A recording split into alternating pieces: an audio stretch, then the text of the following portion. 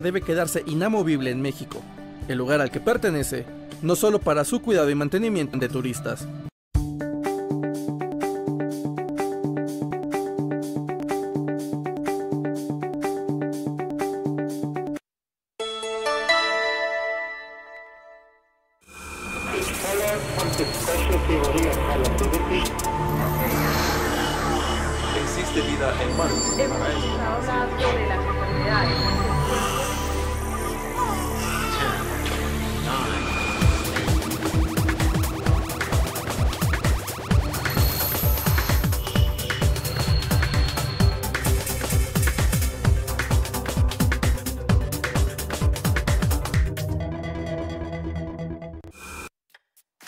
¿Sabes qué es el street art? Pues entonces quédate con nosotros para conocer qué es, dónde tiene origen, sus principales influencias como Banksy, Obey y Kit Haring, entre otros, además de cómo llega a México el arte urbano y sus primeras pintas. No te vayas y quédate con nuestros grandiosos invitados aquí en Generación H.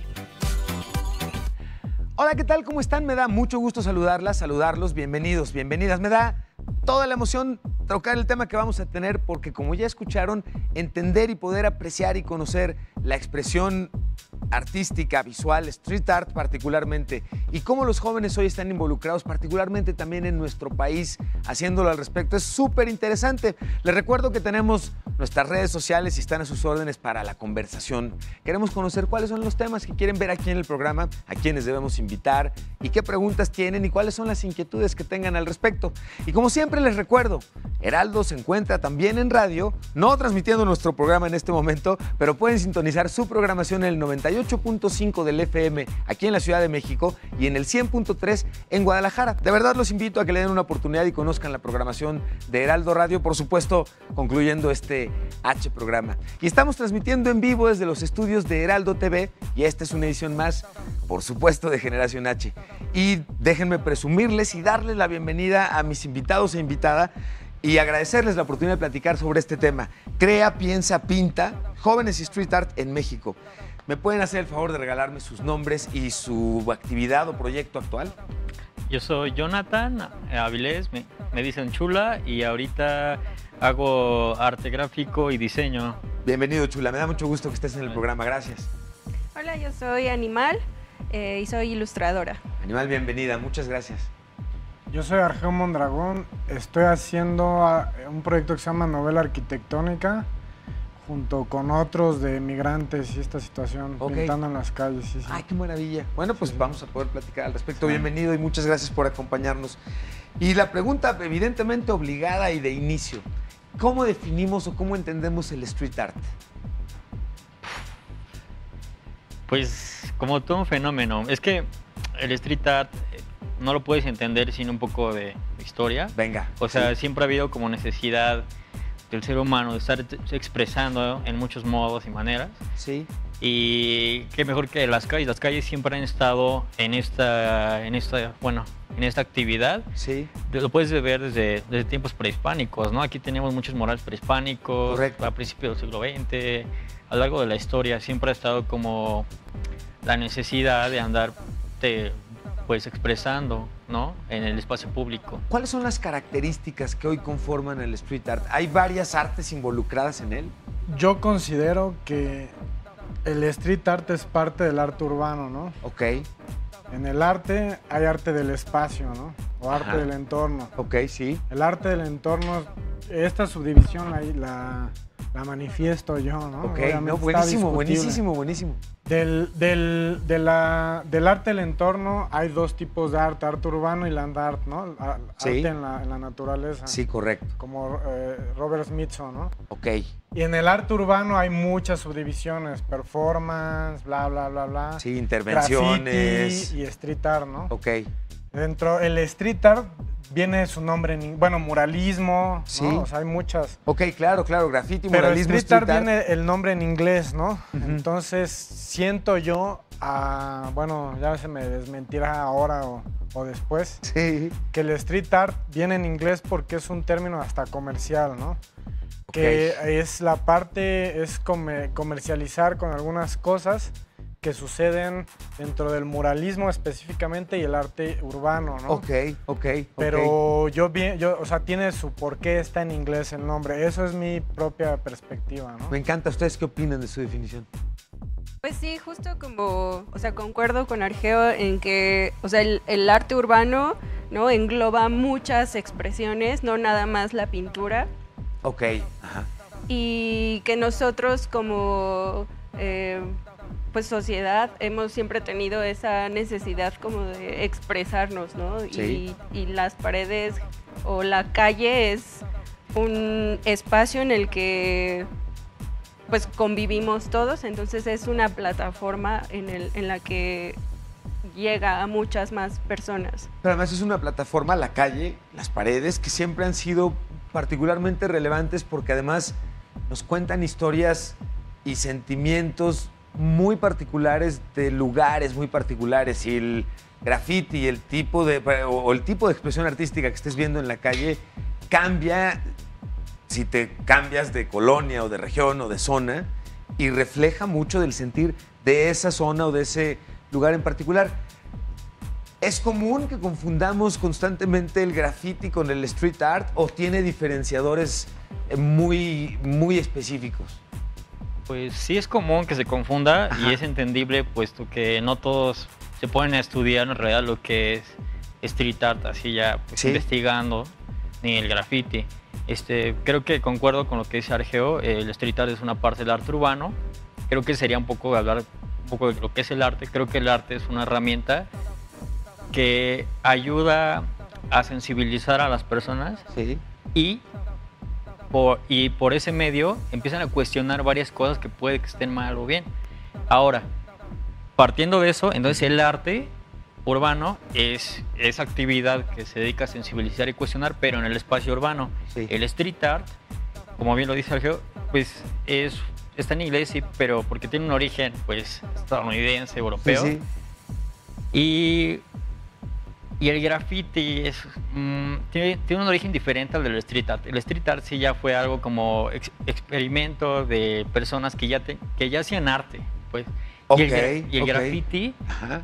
viene de un origen diferente, viene desde las pandillas, o sea, Sí. y, y tiene un origen que viene de la manifestación en el espacio público. Antes era Territorial de incluso, denuncia. sí. Ajá. Y entonces, muchas veces, por ejemplo, en el, gra- el graffiti tiene como un problema, ¿no? Mucha gente no le gusta, pero es que muchas veces nos ponemos en un papel de descalificar y no entender. Ok. Entonces creo que ahí hay un problema y se puede confundir el graffiti con el street art Ajá. al no eh, estar un poco abiertos a entender por qué se da una u otra. Y entiendo el punto porque aunque hay incluso una discusión activa y abierta sobre si el graffiti sea o no arte, también lo que entendemos un poco es que hay distintos tipos de expresiones en graffiti que van incluso desde los glifos e identificadores de las mismas bandas a graffiti mucho más acercándose a lo artístico. Y que aunque tiene protesta, en un momento dado entiende uno la connotación y la, la invasión del espacio público a través de un mensaje visual que me recuerde algo que no esté sucediendo correctamente o algo Hay, así. hay dos cosas que considero ahorita, ¿no? A ver. El graffiti es, es una necesidad de llenar el espacio blanco, porque una, una pared blanca estanca el lugar, ¿no? Ok, O sea, hablando de ok, ok, espacio, qué espectacular hablando de términos, decir, sí. Una pared blanca simplemente estanca el lugar porque no genera movimiento. Entonces, el grafitero lo, tiene una necesidad de, de- de- de- de generar un dinamismo en Sí, cualquier sitio, sí, ¿no? sí, Más allá hablando de, del- A mí se me hace una tontería el- la pelea comercial de, de nombres, ¿no? O sea, es como Coca-Cola y Pepsi. Ok. En el graffiti hay una tontería similar. Ok. Pero yo creo que la necesidad real del graffiti es ese dinamismo que la ciudad, la ciudad está viva, la ciudad sueña, el grafitero, mm, sepa o no sepa de artes, sepa o no lenguaje, ar- eh, visual o no, él tiene la necesidad de ese dinamismo. Ahora, dependiendo su, su estudio, su investigación personal, Sí. o, qué tan, o qué tanto pelea contra su propia mediocridad, Ajá. es qué tanto logra ese dinamismo o vuelve, a- o vuelve sin inexperiencia a estancar el espacio. ¿no? Es decir, un, un grafitero podría evolucionar a street art. No es cuestión de evolución, eh, son cuestión de enfoques, yo creo, ¿no? Eh, no es que el, el- el graffiti esté menos evolucionado. El street art tiene un mercado y el graffiti otro. Ok. Y, ah, y mercado hablando comercialmente, pero si rompemos lo comercial, son, son búsquedas diferentes, ¿no? Ok. A ok. mí me gustaría Esto está muy bien, sí, bueno, sí. y hablando, como dice Chula, creo que es importante ubicarnos históricamente. Se dice que el graffiti empezó en, en- en las pandillas de Chicago y etcétera. O ¿no? neoyorquinas. ajá, Yo sí, sí, sí. estoy un poco en desacuerdo con esa historia que se manifiesta en todos los libros de graffiti, ¿no? Por ahí leyendo y dialogando en mi haber con varios ah, artistas urbanos y grafiteros en Sí, el mundo, Sí, sí, sí. encontré que mucho del graffiti y del street art de los dos, su origen viene en México, de todo el mundo. ¿En serio? Pues tenemos el mural, el muralismo, Siqueiros en especial es una Sí. persona Sí. que buscó muchas cosas. La, la- la pintura acrílica la diseñó con el Politécnico Nacional. Sí. Entonces hay casas de colores por la, la búsqueda de, de Siqueiros Sí. por, el, por, la, por el acrílico. Ya en como él no le interesaba quedarse con los derechos del químico, en Estados Unidos Politec se lo quedó. Toda la escuela norteamericana de gringa, Sí. como es Pollock, son alumnos de Sí. Siqueiros. Entonces toda la pintura norteamericana tiene que ver con esto. Tiene una influencia, Después, digamos. ya, Siqueiros va a Argentina, bueno, tiene que ir a Chile para contra la dictadura de Pinochet, pero pasa por Argentina. En Argentina hace este mural que eh, en, en las catacumbas estas, Ajá, ajá. que le ayuda a un argentino y ahí inventa el- la plantilla, lo que ahora se le llama stencil, que hace Banksy, ¿no? Sí. Pero en ese momento el, stencil eh, no era con aerosol, no- existía eso. Ok. Entonces era una como un como popotito que Ajá. usan los albañiles, pf, un esparcidor se llama. Ok, sí, sí, sí, sí. Y, a- y él, como él tenía prisa de ir a Chile, él dejó las, las siluetas en, en este mural para que el otro pintor argentino lo terminara. Sí. Y él a, a- a- a Chile, llega a Chile, encuentra una dictadura.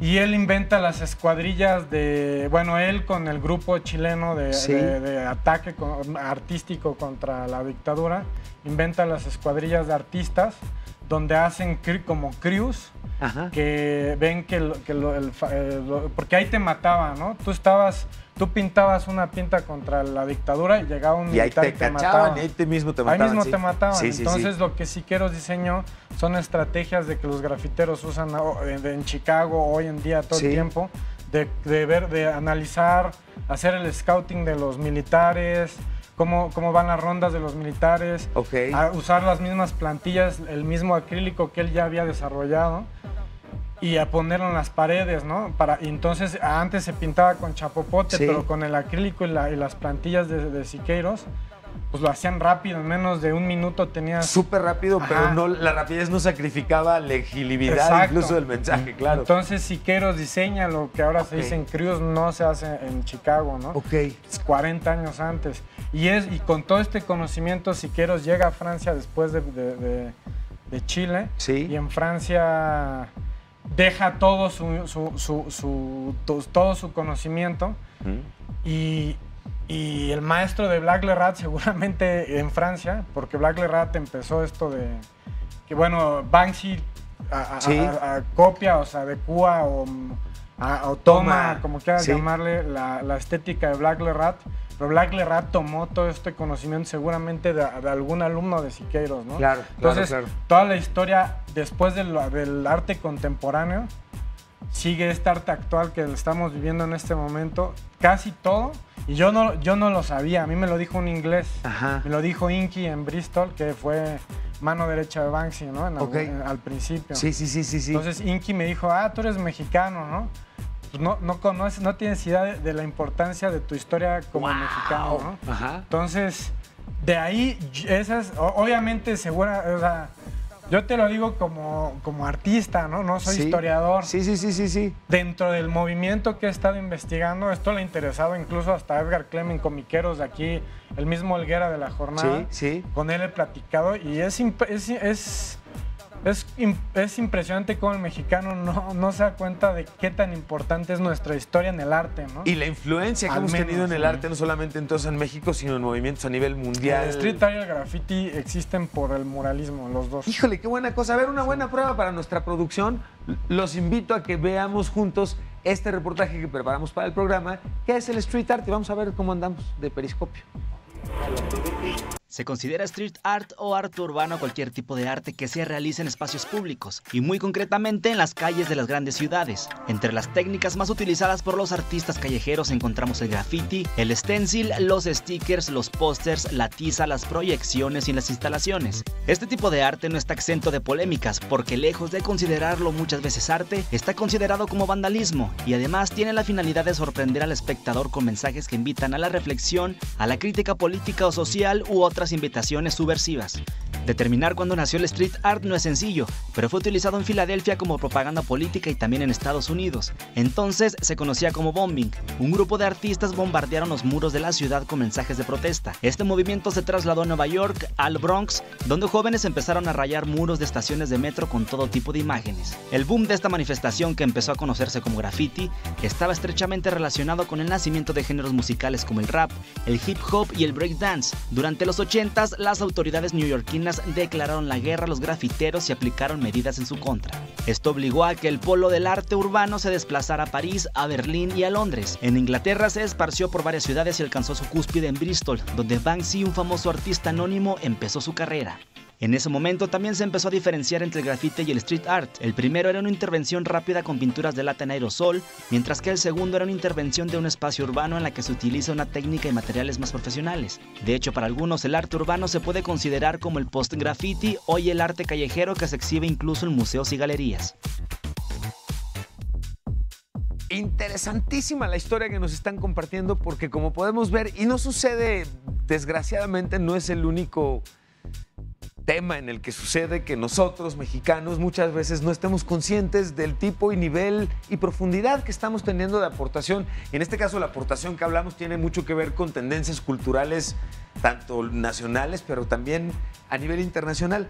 ¿Por qué ¿Por qué este estigma que acompaña mucho la expresión artística urbana? Porque ya me queda claro que no hablamos solo del graffiti, sino en general la expresión artística urbana tiene mucho de, de violencia de la misma, pues de la misma calle a la que le estás hablando. ¿Esto la alimenta, la reduce, la contiene? ¿Cómo la interpretan? Primero creo yo que hay que definir violencia, ¿no? Violencia a términos rápidos. Marx dice que es cambiar la legalidad del objeto, ¿no? Ok. Entonces, si tú tienes una piedra y la, la violentas, Sí. generas una escultura. Sí. Entonces la violencia va implícita, ¿no? Siempre, tú dirías, todos los actos de que cometemos son actos Una- violentos. un no, no, acto claro. creativo es un acto violento, ¿no? Sí, sí. De Marx, ah, desde el punto de vista de Marx. Sí, sí, sí, sí, sí, ¿no? sí. Entonces, tú yo creo que hablas más bien de lo ilegal, ¿no? O de, o de sí, qué sí, tipo de lo ilegal. Sí, su- sí, de lo ilegal, pero no solo de lo ilegal. No toda la gente cuando estás No. interviniendo su calle le fascina que estés ahí e interviniéndola, por más bonito y artístico que te El quede. arte es un, puede ser una imposición o no, ¿no? Claro, sí. Ahí creo que es mucho la sensibilidad del artista de no imponer solo su idea, ya seas grafitero o lo que tú quieras. ¿no? Claro, claro, claro, claro. O, o depende de tu investigación, si quieres ir a imponer en la calle, pues también es, o sea, la calle es de quien la trabaja. Bueno, creo que también tiene que ver un poco con el contexto en el cual los que hacen graffiti lo hacen. O sea, porque no es nada más como de gente o chavos que salen y pintan pues, porque les da la gana. Sí, o sea, sí. yo siento que, por ejemplo, al menos en los 90s y en los 2000s empezó un movimiento muy importante en Ciudad de Nezahualcóyotl. Sabemos que Ciudad de Nezahualcóyotl no es parte tal cual de la Ciudad de México. Correcto. Hablando de periferia. Una zona conurbada, sí, sí. Ajá, entonces el graffiti para muchos de estos jóvenes no es solo salir y pintar por querer hacer la maldad. Obviamente no, no, no. es para, pues, o sea, decir aquí estoy. Y si, y si nos remontamos un poco más a los problemas sociales que hay ahí, como no encuentran respuesta a las carencias que ellos tienen, probablemente sea por medio del graffiti que ellos encuentran conexión con el otro.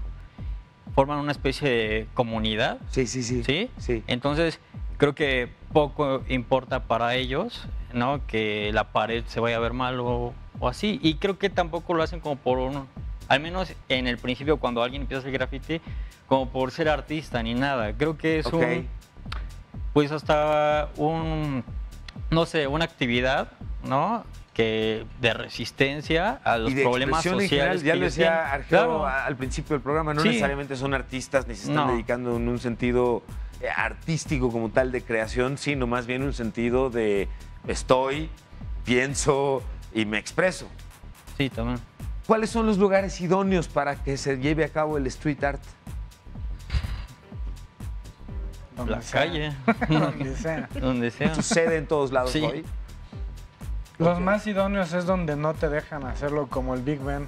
Ajá, ok, ok. Para que la visión y la, la viralidad que tenga el mensaje, en todo caso, crezca mucho más. ¿En qué momento se profesionaliza esto? Es decir, yo estoy tratando de encontrar para la audiencia y para, por supuesto, para un servidor, el lujo de aprender a través de ustedes dónde debo ubicar como expresión artística e incluso entonces como expresión artístico comercial al street art. ¿Cómo lo entiendo? ¿En dónde lo ubico? ¿Dónde funciona? ¿Dónde sucede? ¿Qué lo separa de estas otras expresiones como el, como el graffiti? Ok. Pues yo creo que tendría que ver, justo como dice Argeo, pues con el discurso, ¿no? O sea, porque el, el grafito y las pintas ilegales o generalmente pues van de la mano con, como ya lo dijo Jonathan, como pues como una forma un poco tal vez agresiva o impositiva de Casi decir siempre aquí en el caso del estoy". graffiti es ilegal. En- ¿O no, no? No siempre, pero generalmente se le asocia con eso. Ajá, o- ajá. Cuando quieres ganar dinero Es y eres cuando grafitero, entonces lo ya- haces street art, entonces ya es legal. Ok, Ahora, hay eso, street art fue muy conciso, sí, sí, sí. Ok, Todo sí. cabe en todos lados, Sí. según Schrödinger. Sí, pero es cierto, es cierto, pero nos ayudaste ahorita con una, me parece que es una definición súper elegante, ¿no? O sea, cuando quiero hacerme profesional, entonces cambia el contexto, cambia el mensaje, cambia... Más que profesional cuando quieres ganar dinero. Cuando quieres ganar Porque dinero, que puedes no ser necesariamente te hace profesional. Puede ser muy profesional y muy ilegal. Sí, Lo sí. que pasa es que yo creo que en los últimos años el arte urbano, bueno, el street art, eh, adquirió foco, ¿entiendes? O sea, empezó a llamar mucho la atención Mercado. porque empezaron a ver murales por todos lados. Entonces, Sí. obviamente, aunque no lo queramos, puede llegar a ser una herramienta publicitaria muy provechosa. Yo recuerdo un festival aquí en 2012 llamado City Canvas. Sí. Yo realmente en ese entonces no conocía mucho, pero fue un festival, antes de eso no puedo mencionar algún otro, Ajá. del tamaño de lo que fue eso, porque ya tenía patrocinios, Pues tenía artistas internacionales. ¿Mm? Just Writing My Name Fans en esa. Y En trajo esa. a Herakut y trajo... Claro, trajo estrellas en así España. Sí, internacionales. Entonces, Entonces, sí, sí, sí. pues obviamente generaron un ruido inmenso, todos, todos se enteraron de eso y de ahí yo creo que ese, al menos en Ciudad de México, ese fue un punto en el que el street art se empezó a, a- empezaron a encontrar la palabra lucro en el street art. Ok, ok. y se Porque empezó a hacer Yo creo que el street digamos. art se hizo, o sea, desde el inicio ya pensé, pensó en el lucro. Pues O sea, el street art, es que el street art no puedes decir como de, se pensó como eso, porque siento que es más un proceso lo- pues, no eh, pensado. Los artistas publicitarios que lo estudiaron, pues ya, ya pensaban, eran justo, o sea, eran, ya estudiaron mercado, o sea, hasta mercadotecnia habían estudiado. Ajá. Ahora, a- ahí, por ejemplo, yo, yo he dialogado incluso Sí. con maestros de la, la academia, está, eh, sigue en, el- en los 70s y sigue con esto del arte contemporáneo y que el arte está muerto. Sí. Entonces odian el street art, ¿no? Unos, no todos, pero en general. Sí. Hablo en general, no en específico. Entonces, eh, y critican mucho que somos unos vendidos, ¿no? Porque no somos maestros, ¿no? Y no, y no nos gusta investigar tanto. La verdad sí. es que el street art se ha vuelto muy decorativo, creo yo. Ok. Y solo decora ciudades. Pero no es, o sea, no creo que ahí muera el street art, ¿no? Al contrario, es un poder impresionante el que descubrimos que tiene el street art. Ok. Yo especialmente no, no estoy a favor de que el street art decore y ya, pero al mismo tiempo no lo quiero censurar. Quiero, creo que hay incluso artistas en específico como Esif, Sí. que vino al al All City Canvas, que está muy en contra de que el arte sea decoración y, y tienen investigaciones profundas de, de- de- de- que el street art no sea... hasta- una vez yo en, en- en- en Francia, un Sí. viejito pasó Sí. y me dijo que el street art podía ser el nuevo renacimiento. Ok. De- y, creo que eso es una gran fuerza, ¿no? Ajá. Si no se va a lo mercado técnico, si no se va Sí. solo... a- porque todos los... fe- dime qué festival en México no quiere hacer festivales de street art para hacer una, una, una empresa de publicidad. Sí, todos una empiezan activación, ahí una porque campaña, todos les gusta, todos ven y luego hacen su... su su, su- su desmadre publicidad, ¿no? Y Todos. eso, a eso te iba yo a preguntar ahorita, les iba a preguntar. Ajá. El problema un poquito podría estar también entonces en las marcas. Las marcas Ah, las marcas tienen su, Contaminan, digamos, el- de repente- problema está en el artista. O Sí. sea, en el que tú definas que solo quieres decorar ciudades, ese es tu problema personal. Ok. El que tú quieras, como CIF, investigar sobre, sobre lenguaje humano, Sí. lenguaje, eh, eh, com- eh, pues, investigar sobre problemas humanos, cómo resolverlos. eh, en Ahora, no, no quiere decir esto, perdón, que en cuanto, dej- en cuanto empiezas a cobrar, dejes de ser no, no, artista. eso es otra No, cosa. no, no, no. Eh, Es que una cosa no va, o sea, son, son conceptos Sí, diferentes sí. en el No están, con- no están peleados. pues, Sí, sí, sí, sí, sí. No están peleados, Francis pero se encuentran decía- constantemente contrapunteados. Francis Bacon, un pintor muy interesante inglés, bueno, no, eh, vive, ni que vivió en Inglaterra, Sí. eh, él decía justamente que él quería vivir del arte, pero y por eso sabía, aprendió a vender arte, ¿no? Pero definitivamente lo que hace al pintar no lo piensa en vender, ¿no?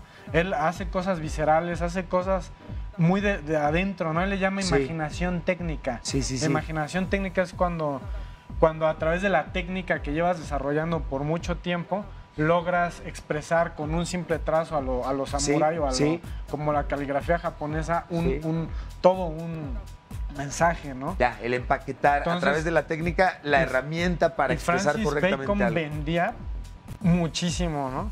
Y hay artista, Picasso, que es un artista incluso socialista, Sí. vendía, es de los más ricos de la historia, ¿no? ¿Quiénes O sea, serían los principales hoy representantes del street art o los más reconocidos? Cada quien tiene su listita. ustedes. No, pues. pues es que estás hablando de un movimiento a nivel mundial. Entonces, como decir así como los principales es abrir un debate que nunca va a acabar, ¿no? En México, Es lo mismo. Hay un montón. O sea, yo. Fíjate, yo conocí a Argeo en otro estado Ajá. y vivíamos los dos aquí. siendo Entonces, de aquí se fueron a conocer a otro lugar. Exacto. Pero el DF es Entonces- un monstruo. No, bueno, vaya Justo que lo es. antes Sí. en el corte, Argeo decía que prácticamente aquí el street art en México somos como una gran comunidad Ok. que todos los días crece, ¿no? Y yo creo que también puede servir de inspiración como lo que hemos hecho Sí. para nuevas generaciones, entonces por eso cada vez hay más personas haciendo street art. Que incluso para ir aprendiendo en conjunto, tienes toda la razón. Bueno, los invito a que veamos esto que preparamos nosotros, principales representantes del street art, y ya venimos y lo destrozamos juntos. Vamos a ver. El más conocido es quizá Banksy. Su trabajo comenzó durante el boom del aerosol a finales de la década de los 80. Su trabajo son piezas satíricas sobre política, cultura pop, moralidad y etnias. La gran inspiración de Banksy es Blake Lerat. Es un artista de graffiti que hizo famosa su técnica de plantilla, influenciado por el stencil propagandismo de Mussolini y el graffiti que vio en el metro en un viaje a Nueva York desde 1983 plasma sus piezas en las calles de París. Otro gran referente es Kit Haring, que en 1980 comenzó a hacer graffiti, dibujando con un rotulador de imágenes similares a dibujos animados sobre anuncios en el metro de Nueva York. Más tarde le siguieron unas historietas dibujadas con tiza blanca sobre los paneles negros del metro reservados para publicidad.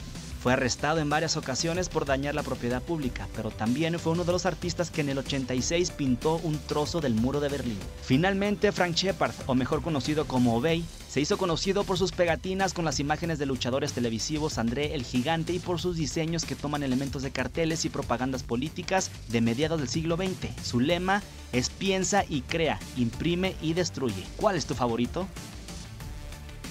Y bueno, dentro de estos favoritos que se mencionan, para ustedes, ¿quiénes serían entonces tendencias o influencias que están siendo relevantes el día de hoy a considerarse?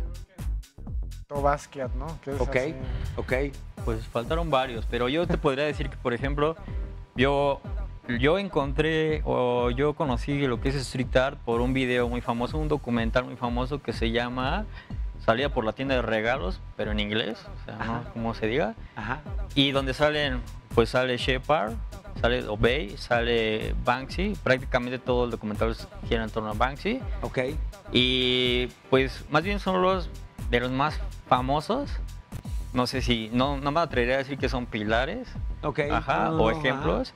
Pero por- yo te puedo decir que, por ejemplo, al menos dentro de ese documental que está ahorita en la pantalla, justo fue cuando yo me enteré de toda esta onda del street art. Y no lo había pensado, digo, yo vivo Sí. en el Estado de México y veo grafitis todos los días, hasta que vi eso dije, wow, o sea, Conectaste con, con- Claro, con ah, esa lo conecté. Hay una Sí. corriente bien, bien importante que Banksy la usa, que es el situacionismo, ¿no? Que viene de antes, ¿no? De los 60 Ajá. y actualmente su boom, eh, Diego Rivera abusó, bueno, él se hizo famoso por el situacionismo, ¿no? Sí. O sea, si es importante Diego Rivera, no es por sus indígenas que cargan flores, ¿no? Sí. Es sí. por el situacionismo, porque le mentó la madre a Rockefeller en su edificio, eso es situacionismo, Sí, ¿no? ok. Entonces, mismo Banksy utiliza esa- esas maneras situacionistas de proceder y bueno, en especial yo, o sea, conozco situacionismos en varias partes del mundo, creo que en el País Vasco en especial hay situacionismos, hasta hicieron llorar a Banksy, ¿no? Entonces, de- o sea, situacionismos sobre situacionismos. Ok,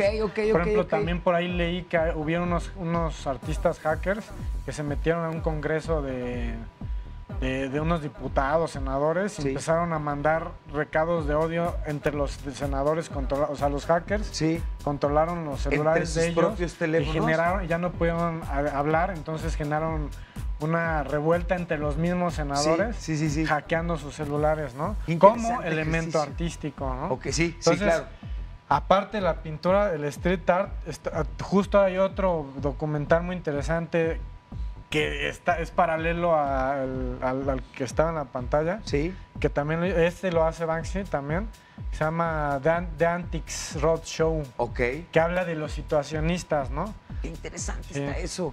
De los situacionistas actuales, modernos y famosos, porque situacionismos, bueno, hasta Jodorowsky hizo, hizo teatro un poco situacionista de vez en cuando. O sea, esto viene... eh, eh, Un gran situacionista es Diego Rivera, ¿no? O sea, Claro, ok. así. Hijo, qué maravilla, qué gusto platicar y aprender de lo que nos están compartiendo. Déjenme hacer rápidamente una pausa. Vamos a hacer un corte. Estamos transmitiendo en vivo desde los estudios, por supuesto, de Heraldo TV. Esto es Generación H. Yo soy Emilio Saldaña, el Pisu. Vamos y venimos.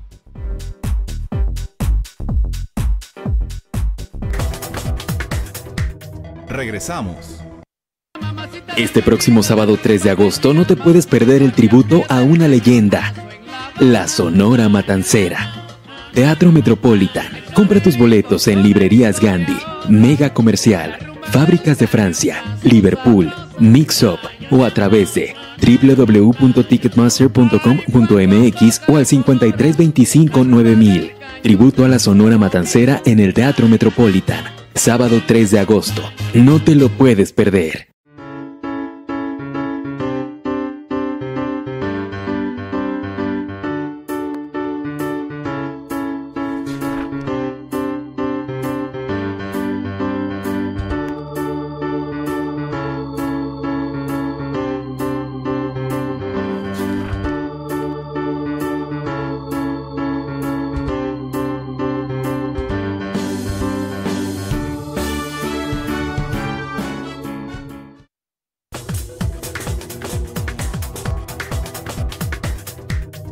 Continuamos. Y bueno, para seguir conversando, los invito a que antes vayamos y veamos esto que preparamos para ustedes. La pregunta es, ¿se puede vivir del street art? Vamos a ver lo que nuestra redacción investigó y ya que lo veamos, venimos y lo ponderamos con nuestros invitados y nuestra invitada. Vamos a ver. Sí, o sea, es- todo es una estrategia, o sea, es como una, o sea, cuando empiezas a profesionalizar algo, empiezas a adquirir, eh, pues, responsabilidades, ¿no? Que es como, primero con tu obra, con tus materiales, con la forma de hacerlo, y en general, pues, eso es una disciplina. Entonces, justo ahora se puede trabajar en, en- en ambo- en ambos lados, ¿no? Puedes ser ilustrador, puedes eh, hacer muros, puedes hacer un tatú. Pues no, no existía esta onda que, que justo ahora pues los jóvenes, pues yo creo que disfrutan más. Porque antes era muy restringido, o eras bicho raro, o ahí viene el, el vago ese, ¿no? Si te interesa bailar, si te interesa sacar fotos, si te interesa iluminar, si te interesa lo que te interese profesionalizar algo. O sea, desde la pintura en la calle hasta el mural en la Alameda, ¿no? Entonces, eso sería como tal vez un buen consejo Y no solamente nos queda claro que, por supuesto, claro que se puede vivir del street art. De hecho, la mayoría de los que están haciendo street art, justamente parte de lo que están haciendo es ingreso para poder vivir de ello. Pero tiene fauna. mucho más que ver, perdón. Y hay una fauna alrededor de los que viven, o sea, el street art vive de ello, pero hay una fauna que se alimenta durísimo. sea, ¿Cuáles? ¿Quiénes? ¿Está conformada por quiénes? pues galeristas, eh, publicistas, Sí. eh, Gestores. Gestores. eh, to- o sea, marcas, Sí, eh, cervezas, tenis. sí. Se- no solo uno vive, se vive Ya es toda una Muchos. industria. Hay todo un ecosistema, industria. digamos, Sí, ya ya que funciona a partir del, del street art. Y si tuviéramos una silla aquí para Abelina, ¿qué es lo que ella estaría pensando al respecto? Ay, Avelina, Avelina. Híjole. Pues a Avelina caray. no le gusta el graffiti. Dice que es de Pero subnormales. también lo- los ejemplos que pone de arte Sí, urbano son bien exactamente. X. güey. es lo que te comentaba hace Eh. rato. Avelina dice que el graffiti es de subnormales, Sí. pero te comentaba hace rato que muchas veces el problema cuando hablas de graffiti o de eh, street art es ponerte en, un, en una postura de descalificar Sí. y no tratar de entender al otro, porque entiendo, siempre es el muy fácil. quiere hacer guerra contra el milenio. Porque siempre... Ajá. Claro, pero lo que pasa es que hay una cosa bien interesante, porque, o sea, el, el que su opinión haya sido tan despectiva contra expresiones artísticas Claro, es- no viene a partir de que le mientes la madre en una pared, ¿no? No. Eso sucedió ya como consecuencia. Yo fui me pareció a la muy plática, fortuita. justo ¿Tú estuviste sí fui, ahí? Yo estuve ahí. Y hubo una chava, una grafitera, que le dijo algo que dentro de... Fue, eso fue una pulquería, ¿no? Sí, sí. De un lado y del otro fue una Sí, pulquería. porque no fue un encuentro más muy ríspido, Es sí. que meterse con los grafiteros es como ocioso, ¿no? Ajá. No, o sea, Sí. O sea, Bueno. neta, neta. ella, esta, esta chica, no sé quién sea, me pareció muy atinado su argumento. Eh, todos viven de algo, ¿no? Y Abelina vive de la crítica, una crítica que a pesar de que está bien estudiada, no está muy bien escrita y Sí. no está muy bien hablada, ¿no? Sí, correcto, O correctísimo. sea, pero sí, o sea, ella sabe de dónde leer, Sí. pero dudo que, eh, o sea, no sabe hablar, güey. Sí, sí. Entonces, eh, ya me metí en problemas. No, déjame que me meta yo. From Ocupas una, versus ide- una, una palabra que es, Es- necesaria aquí, el enfoque. El enfoque. Avelina tiene argumentos y está estudiada, pero creo que muchas veces hace falta ponernos en los zapatos del otro. me- dicen chica- de la producción que tenemos a Abelina en la línea, no es cierto. eso. Me la hicieron igualita, ¿eh? fue como de, ah, ok. Ah, ¿verdad? Mira, pero lo que sí dijo esta chica, yo no sé si sea verdad o no, porque ya sabrá Abelina lo que ella hace por sí, Sí, sí, misma. sí, sí. Pero ella dijo, te está, viviste de los, del, del arte conceptual y este y, y como ya el mismo mercado en Art Basel está reemplazando el street art al, al arte conceptual, Sí. no digo que sea mejor ni peor, simplemente No, es lo no, que no. está sucediendo en el mercado. Sí. Ahora Abelina Lesper tiene que seguir en el mercado y entonces está agarrando a los, a los grafiteros y al street art que está en el mercado. Esto dijo esta, esta chavita. Sí. No sé quién sea, me pareció brillante su argumento. Yo no sé si es real o no, me parece brillante.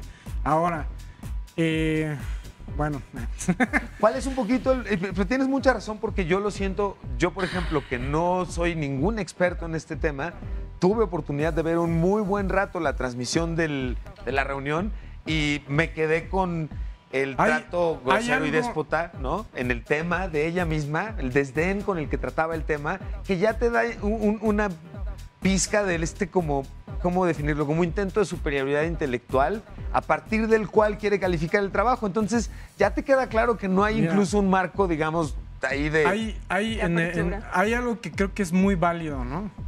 No, el, el arte sí es una lucha contra la mediocridad de uno mismo, ¿no? Sí, sí. Cuando no sucede eso, que sucede mucho, Sí, sí, sí está jodido la- el artista, el mercado y todos, ¿no? Incluso el crítico de arte. sí. También que ellos disparan, pero no, nunca hay una autocrítica, ¿no? ¿A partir de qué estoy haciendo mis Yo, por ejemplo, cuando leo, porque se tiene que leer, uno como artista, puedes o no leer crítica al arte, a mí me gusta leerlo. Sí. Yo a quien leo es otro artista que es un gran crítico de arte, Nick Seth.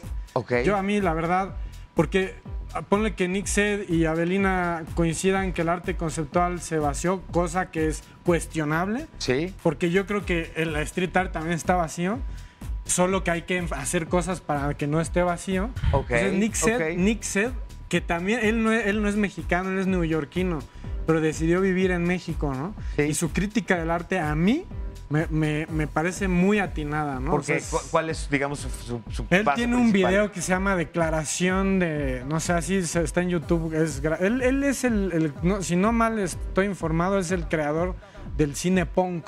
Ok. A lo mejor estoy muy mal informado. Ok. Pero sí tiene un montón de cine punk, ¿no? No sé si es el padre o no, Sí. pero tiene un montón de cine punk. Entonces, él creo que para no para Alice in Chains o no sé quién hizo video, Sí. no sé, ya lo comprobarán ustedes. Sí. No, no tengo el Google a la mano, pero ento- él hace una crítica, él, él habla del arte mm, vital, ¿no? Entonces, él, él- él está un poco en, tonto- en contra del arte del mercado eh, y ha tenido activismo, ¿no? En su forma de trabajar ha tenido activismo. Entonces, a pesar de que ha criticado a artistas que a mí me gustan un montón, como David Lynch, creo que él tiene la razón, Seth. Por ejemplo, con David Lynch dice, David Lynch está contra el graffiti, ¿no? Porque él viene de una escuela clásica de pintura, que a mí me fascina esa escuela clásica Sí, de pintura. De ahí vengo yo también. Pero no estoy contra el graffiti, ¿no? El graffiti, como dice Chula, es una necesidad de expresión. Y, y- y- y- David Lynch dice, a mí me joden para mis grabaciones que todo esté grafiteado porque yo quiero una escena pulcra, ¿no? Sí, limpiecita. Más que sí. limpia, que le funcione en, en lenguaje, ¿no? Ok. Y creo que con eso se ejemplifica un poco la falta de comunicación de las dos partes, los anti-graffiti y los graffiti con lo que acabas de decir, ¿no? Porque todos se ponen pues desde su postura y no se ponen, te digo, en los zapatos del otro. O sea, por ejemplo, Avelina tiene sus maestrías y sus doctorados, Sí, ¿no? sí, sí, sí. Que a los grafiteros, mira, poco les importa. Claro, por La supuesto. verdad. por y que vimos en un encuentro tete a tete, Claro. Pues que los doctorados Claro. no les sirvieron de mucho para lograr No está mal y hacer un doctorado. No, para nada. claro. No, claro que no, no. claro que no. Pero también un doctor no, no, no va a la calle y enfrenta el problema real, ¿no? No, De que te mira, sacan a balazos solo- en esa por no. Sí, Exacto. Avelina no vivió como viven los grafiteros. Eso es Sí. importante. Y eso es muy importante. Y es uno de los problemas por lo que se descalifica tanto el graffiti. Ah, no, pues mucha fama para Sí. Avelina, ¿no? Estoy de acuerdo. Sí, estoy de acuerdo. creo lo mismo. Pero, pero sí fue un buen cosa. tema en el sentido, o sea, sí un buen tema en el sentido de decir, ni siquiera de repente en espacios en donde hay gente que está estudiando el arte constantemente, se encuentra como todo cómodo y Sí. grato para, miren. No, y es en varias Para cosas. Por ejemplo, yo, para- estoy. para el eh, recuerdo. Yo soy parte del Jardín del Arte, Ajá, una asociación civil, sí. y ahí deberías ver. No, es- parece que son abelinos. No les gusta ni el arte conceptual, Sí. ni nada de eso, ni el graffiti. Y yo he discutido El mucho con ellos, es que lo odian. El pero- problema no es el tipo eso. del Ajá. arte. A ver. El problema es que es un mediocre. O sea, no importa que hagas graffiti, no importa que hagas arte conceptual, street Sí. art, pintura, escultura. Eso no importa. Eso, tú puedes hacer lo que tú quieras. Sí. Lo, lo que importa, o sea, lo jodido es que seas un mediocre al hacer lo que hagas. Porque el resultado y la percepción O- o- incluso de tu audiencia va a ser así, claro, Sí. claro. Igual un crítico de arte, ¿no? Sí. No importa que hagas crítica de arte, lo jodido es que lo hagas mediocremente, ¿no? ¿Cuáles consideran que pudieran ser las características, eh, considerando la introducción maravillosa que nos compartiste, Argeo, cuáles consideran que son las características que definen hoy el street art mexicano? ¿Hay algunos elementos que podamos considerar que le dan ADN particular? Pues hay imágenes que usan recurrentemente, pero así como elementos, pues es que. no sé. Pues yo creo que algo que empieza a caracterizar y que siento que también eh, pues le pone como un, muchos límites al street art mexicano es pues esta recurrencia a los temas de las culturas prehispánicas, estos elementos que se utilizaban ¿no? dentro del mismo arte prehispánico Ajá. que no creo que esté mal eh, retomarlos y rescatarlos, pero que me parece que igual no deberían tomarse como. De- Ya, justamente como líneas de identificación Claro, del ajá. street art mexicano. Porque entonces, como te ¿no? digo, limita ¿no? a lo que se puede producir. Ok, ok. Argeo, ¿tú qué opinas? Eh, México siempre se ha distinguido por su poder mágico, ¿no? O sea, siempre. Profundamente, comercialmente. Yo vuelvo a repetir, no, no está mal que tomes a Quetzalcoatl mientras lo hagas. A mí me gusta mucho la cultura prehispánica, pero yo la respeto muchísimo. Sí, ok. Pero si la tomas no está mal siempre y cuando hagas una verdadera investigación, ¿no? O sea, no, na- o sea justo ahorita acaban de poner, eh, bueno, están poniendo imágenes, ¿no? De, de arte Ajá. mexicano, Sí, sí, sí. que es muy mexicano. Una cosa es que en el cliché de, de lo que se vende en la tienda de San Francisco hipster. Correcto, sí. Y otra cosa es una verdadera investigación mexicana, ¿no? Porque también hay arte mexicano que habla de las desaparecidas de Juárez, de los 43 de Ayotzinapa, ¿no? Sí, no todos son alebrijes, multicolores. Y puedes hablar de. Quetzalcoatl hablando de los problemas reales, de la realidad mexicana, ¿no? Entonces, eh, no, el problema es decorar. Vuelva, el problema del street art vuelve a ser mexicano, vuelve Sí. a ser el mismo del street Es decir, art es que decore y no proteste. No, Es- no es necesaria la protesta, una simple investigación de algo que tú... Un artista Ok. necesita un statement, Sí. un est- una declaración de artista. ¿Por qué haces las cosas? ¿Para qué y con qué? ¿Y cuál es tu fin? Puedes no te, si, si tu statement es una locura y dices no, no, mi statement es el anti-statement, pues ya estás Sí. investigando, ¿no? Ya Sí. te estás investigando el lenguaje de quién hace un statement, ¿no? Sí, correcto, Entonces, sí. este, sí.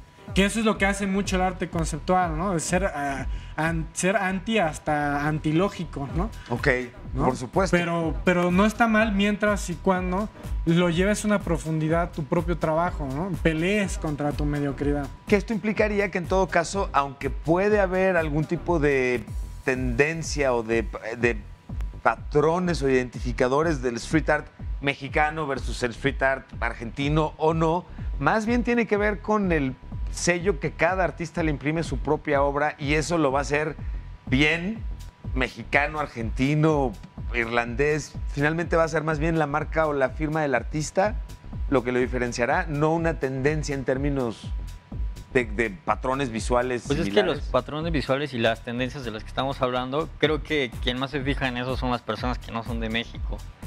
Realmente. Es que ahí también es algo que hay que ver porque justo yo creo que si el arte urbano en México ha crecido tanto es por este tipo de imágenes, que no está mal, como dice Sergio, creo que también, aparte No. de luchar contra la mediocridad, implica un poco de la intención que quieras tener, ¿no? Sí. Porque digo, si, si la intención es publicitaria, pues bueno, supongo que un Quetzalcóatl pues funciona, ¿no?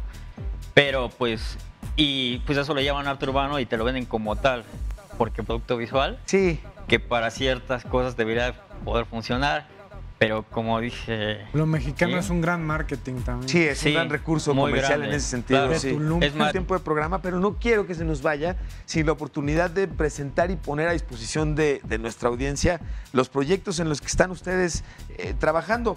Animal, me gustaría que nos pudieras platicar un poquito acerca de lo que tú estás trabajando y tenemos además eh, una pista de contenidos referente a lo que tú estás haciendo para que lo podamos presumir y compartir con nuestra audiencia. ¿Es correcto, señor?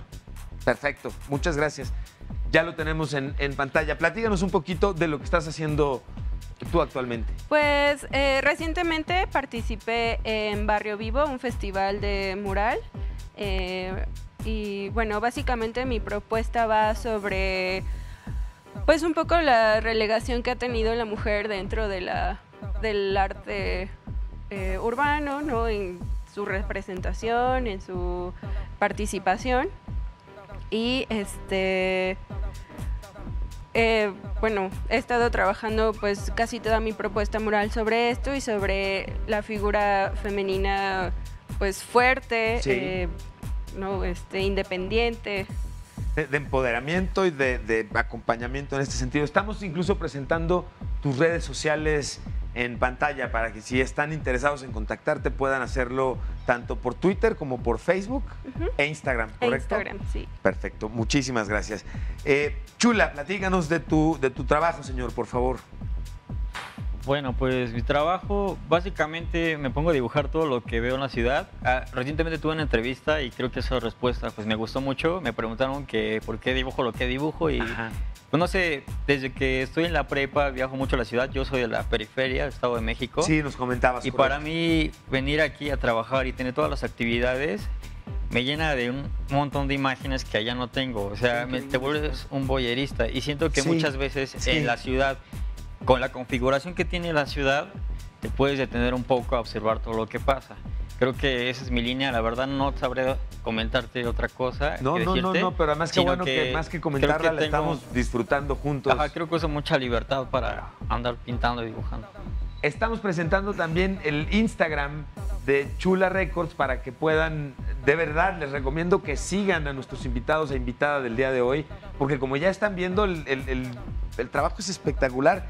Muchísimas gracias, Chula, y gracias además por, por acompañarnos. Argeo, platícanos, por favor, señor. Pues bueno, como te decía, quisiera meterle alguna profundidad al street art. Entonces, en este búsqueda de la novela arquitectónica, lo que busco es que a través de una línea, de una línea narrativa se, se introduzcan temas, ¿no? O sea, ahorita estoy trabajando, estoy trabajando con, con las autodefensas en una historia que Sí. novela arquitectónica es como leer leer un- como una novela novela gráfica, como un cómic, pero en vez de que esté en un libro, está en todo un edificio. Entonces vas pasando por cada viñeta y lo vas leyendo. ¿no? Wow, ok, Por un lado. Por otro lado, estoy empezando a trabajar con lo de los migrantes. Y justamente ahorita pasó un, un- un pasaporte, entonces estoy como, como libro de los migrantes. Sí. Trabajando escenas que he visto, ¿no? De los migrantes, ahora que fue a, a Mexicali y así. Sí. Me, me- me- me conmovió todo esto y, y, y muchos problemas sociales re- reales recaen en los migrantes, ¿no? Y al final del día uno como artista urbano es migrante también, ¿no? Entonces Claro, claro. te enfrentas con problemas de racismo, con xenofobia, con mercado de la tortura, entonces cosas muy fuertes que, que- que quiero curar o atacar con el arte, ¿no? Entonces, este... Y eso so- es rápido, ¿no? Porque puedo seguir aquí. Bueno, estoy trabajando también con Tlalpan, con la alcaldía, para la, recu- para la activación de espacios, pero no estoy trabajando con cultura, estoy con prevención del delito.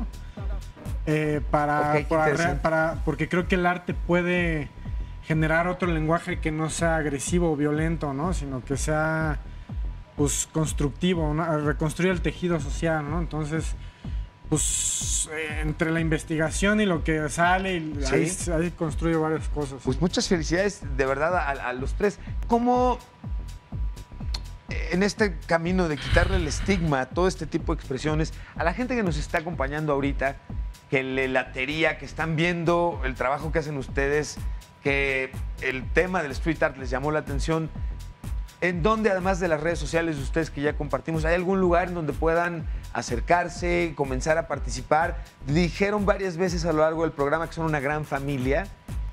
¿Cómo acercarse a esta gran familia? ¿Cómo pertenecer? Sal a ¿Cómo- la calle y pinta. Esa es, una, esa es la invitación.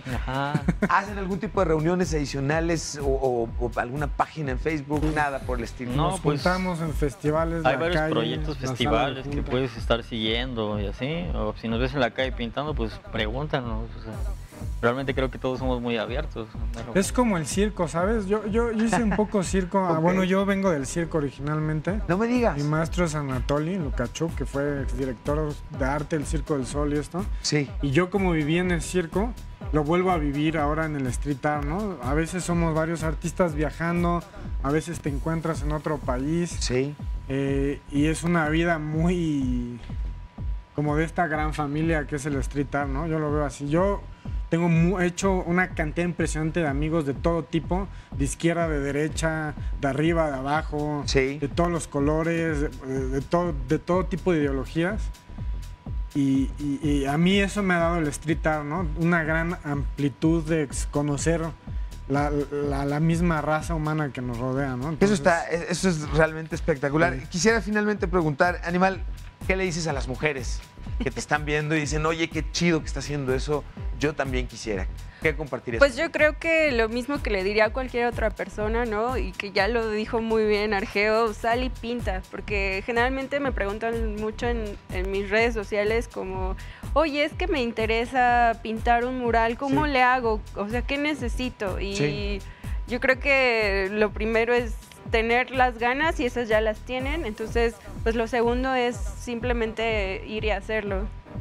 Híjole, no puedo expresarles de verdad el gusto, el lujo, el honor de conversar con ustedes, de tenerlos aquí en el programa y agradecerles además la oportunidad de ayudarnos a entender mejor eh, formas de expresión que se están dando en nuestro país tan relevantes, la relevancia que los mismos mexicanos estamos hoy teniendo en el arte a nivel mundial y expresado además por ustedes mismos y representado por ustedes es espectacular. Les agradezco además, pero sí los comprometo a que nos reunamos nuevamente para seguir platicando.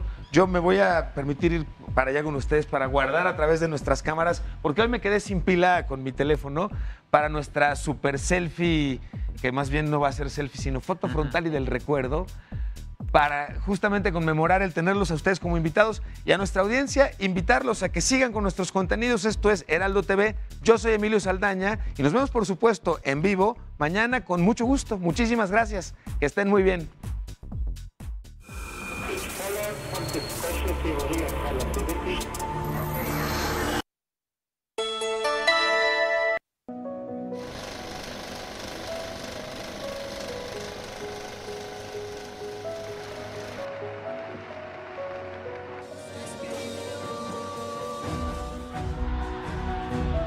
Siglo XX ha sido el siglo de las ilusiones, pero también ha sido el siglo de las ilusiones perdidas.